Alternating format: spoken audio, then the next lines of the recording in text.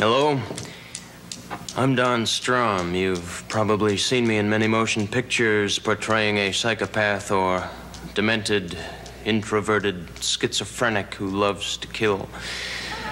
You know, mental illness is a disease which can attack anyone, not just actors, but anyone at any time. And when it happens, it's not a very pleasant experience, even though you probably wouldn't know that if you had it.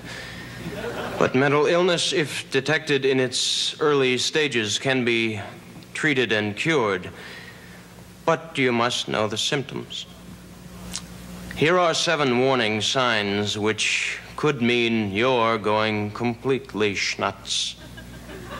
One, nagging and persistent fear, depression, anxiety, or hostility.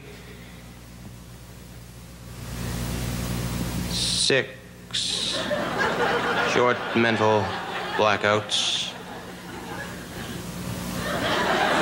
Or lapses of consciousness and seven breakdowns in verbal comprehension, which make it difficult any questions the sense of to understand. If you have any of these symptoms, get help. And lay off the pills and the booze, because that's probably a whole problem right there. Just